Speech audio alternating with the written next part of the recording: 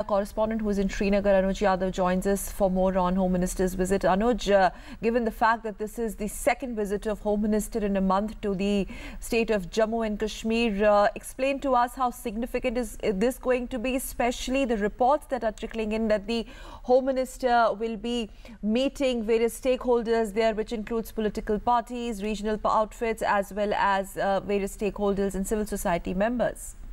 देखिए सकल बिल्कुल अब से कुछ ही देर के बाद करीब 11 बजे जो है होम मिनिस्टर राजनाथ सिंह यहाँ पर पहुँचेंगे और ये हम्म। उनकी दूसरी यहाँ पर उनका दूसरी यात्रा है। दो, दो दिन का यहाँ पर दौरा है जिस तरीके से लगातार प्राइम मिनिस्टर की तरफ़ से कोशिशें की गई हैं और उन्होंने संवेदनाएँ भी प्रकट की हैं जम्मू कश्मीर के हालात को लेकर। उसके बाद से सेंट्रल गवर्नमेंट की तरफ़ से और ज़्यादा प्रयास तेज हो गए हैं। स्टेट गवर्नमेंट के साथ मिलकर पैरामिलिट्री फोर्सेज के साथ मिलकर किस तरीके से लगातार यहाँ पर शांति बहाली की जाए जाए वो एक कोशिश लगातार की जा रही है और वो कोशिश अब तेज़ी पकड़ती हुई नज़र इसलिए आ रही है क्योंकि जितने भी चाहे वो स्टेट गवर्नमेंट हो या अपोजिशन पार्टीज़ हो या बाकी जो यहाँ पर सिविल सोसाइटी के लोग हैं सभी लोग चाहते हैं कि जल्द से जल्द यहाँ पर माहौल अच्छा हो यहाँ पर चैन अमन और शांति का माहौल फिर से स्थापित हो उसी की एक कोशिश है राजनाथ सिंह यहाँ पर जब पहुँचेंगे तो वो कोशिश करेंगे कि जो भी लोग उनसे मिलना चाहते हैं हम्म। या जो भी कदम बढ़ाना चाहते हैं इस प्रोसेस के अंदर शांति के प्रोसेस के अंदर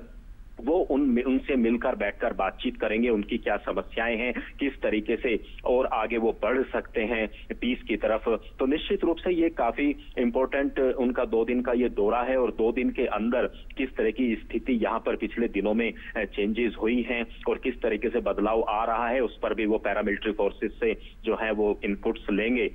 और एक अच्छी बात ये रही है सकल पिछले दो दिनों के अंदर के यहाँ पर जो लोग हैं अब अपने घरों से निकल रहे हैं जो हम्म। जो फ़ूड की सप्लाई है वो बिल्कुल सही तरीके से यहाँ पर हो रही है और जो एक आम कॉमन मैन है अब वो चाहता है कि अब कोई किसी भी तरीके से डायलॉग के माध्यम से जो है हम्म। अब घाटी के अंदर वैली के अंदर जो है वो शांति स्थापित हो A little bit more on Anuj, the curfew situation. Now, there are reports suggesting that curfew has been lifted in various parts. Uh, what is the situation on grounds? Although we are showing in the visuals, uh, the marketplaces are open, like you mentioned. People have started coming out of their houses. Uh, situation easing out at the ground level. Situation returning back to normalcy by far and large.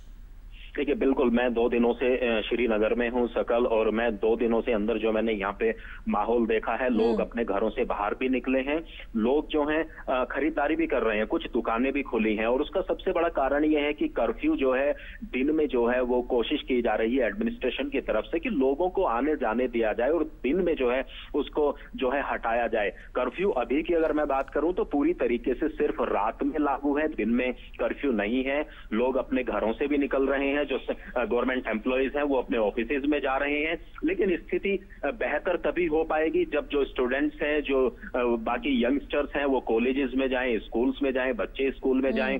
और पूरी तरीके से normal एक स्थिति दिखाई दे। उसी की कोशिश की जा रही है। उसी की तरफ़ सेंट्रल और स्टेट गवर्नमेंट और बाकी स्टेक होल्डर्स अब लगातार आगे बढ़ रहे हैं और अब लोगों को उम्मीद भी यही है जिस तरीके से प्राइम मिनिस्टर का स्टेटमेंट भी सामने आया है कि अब डायलॉग के माध्यम से बहुत जल्द ही जो है परमानेंट सोल्यूशन यहाँ की इस समस्या का निकाला जाएगा, जिस तरीके से लगातार यहाँ पर हिंसाएँ समय समय पर देखने को मिलती रहती हैं। सकल All right, Anuj Yadav, thank you very much for those inputs from Srinagar on Home Minister Rajnath Singh's Jammu and Kashmir two-day visit. Our correspondent telling us that the curfew has been lifted. The situation is slowly uh, getting back to normalcy. People have started coming out of their houses. Uh, there has been a, a, relaxation of curfew by these, uh, the, the civic administration there and uh, Home Minister's visit is definitely aimed at restoring peace and normalcy in the valley.